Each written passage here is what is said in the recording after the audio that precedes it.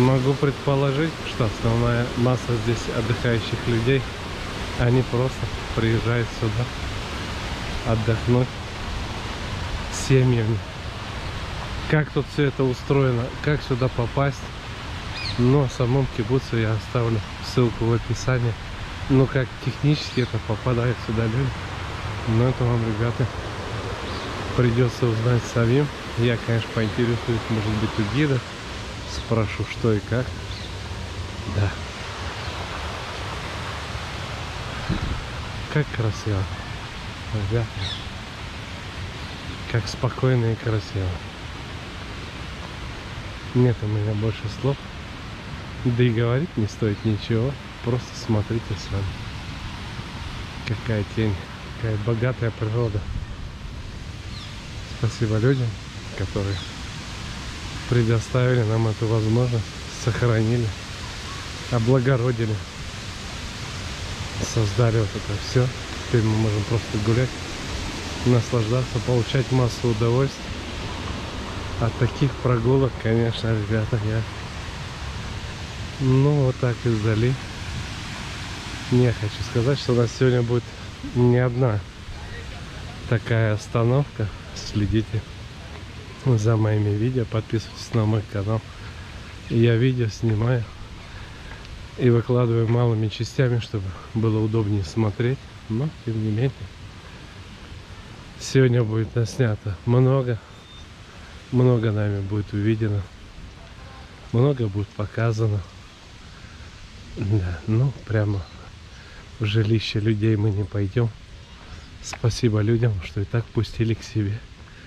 Как говорится, ну вот цветочки дайте покажу. Цветочки покажу.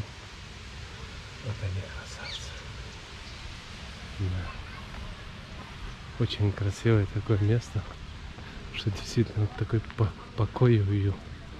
Ну, я могу предположить, что здесь находятся престарелые жители кибуца, за которыми ведется учет.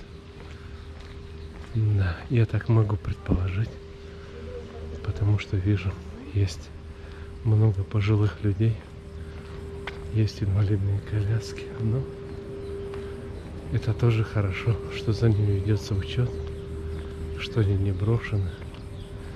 Да, просто, просто, ребята, я вам покручу, просто возьмите оцените, что могут сделать руки человеческие. По-моему, кибуц основан в 25 году.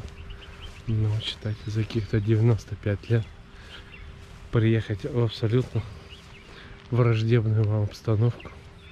В прямом смысле слова. Где вас повсюду поджигали, стреляли, убивали. Люди боролись буквально за каждый клочок этой земли. И вот сегодня мы можем бродить, смотреть на плоды их трудов. Всегда, когда люди говорят, да вот им дали, ничего никому не дали. Никому ничего не дали. Все эти люди заработали все сами. Никто никому ничего никогда не дал. Просто так. Никому в этой жизни ничего не дается крови и пота здесь пролито с размер той речки, которую только что мы смотрели. Ну вот, ребят, гранаты, предвестники еврейского Нового года. Вот они притаились. Будем мы покупать, ставить на стол до Нового года, до еврейского Рошана. Осталось буквально неделя. Пойдем и мы будем праздновать. Будем весело отмечать наши праздники. Да. Я не знаю, ли можно тут пройти, но мы как-то так чуть удалились от основной группы. Углубились, пойдемте искать. Наверное, уже там уелись шоколаду все. Да. Ну, хочу сказать, вот трава просто шикарно. Я соскучился по траве, если кто-то замучился ее где-то в далеких странах косить возле дома. то я соскучился по траве. По вот этой зелени. Да, очень красиво. Ну.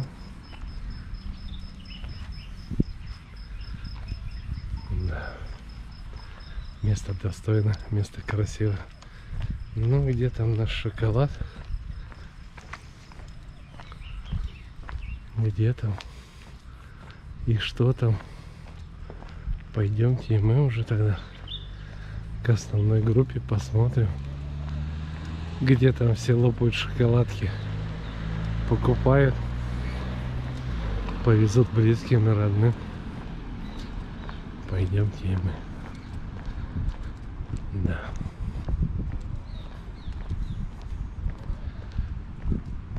Ну вот.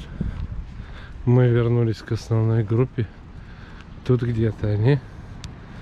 Пойдемте и мы сейчас маску на- напялим. Без маски, ребята, туда никак.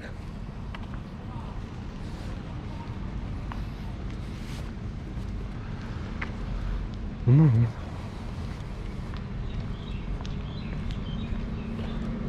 Пойдемте и мы разбираться, что да как. Почем нынче овес.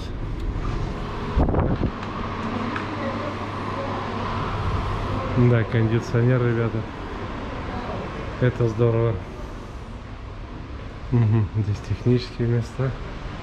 Завернем обязательно, ребятки. Ну, вот.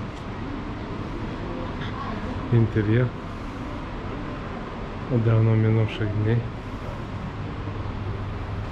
бережно сохраняется. Ну вот, я так понимаю, мешки, в которые доставляется какао, можете обратить внимание, страны.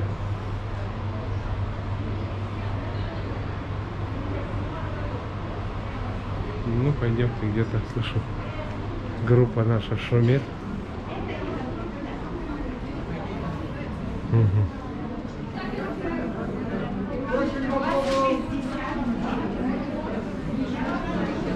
Ну,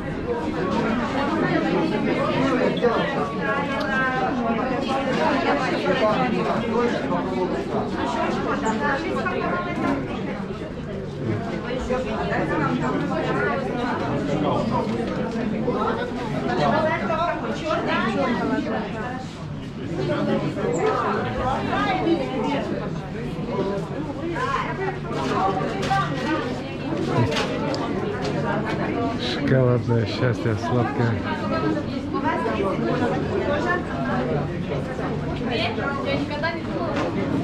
Ну, вижу, девочки на кассе говорят по-русски. Переходим к следующему. Друзья, водитель в автобусе будет поддерживать температуру, нет таяния. А, да, да, вот это я хотела спросить. Я не слышала, я это объявила, что берите шоколад, мы не будем. Ну, давайте, может, мы прорвемся туда. Что-то, может быть, мы там увидим.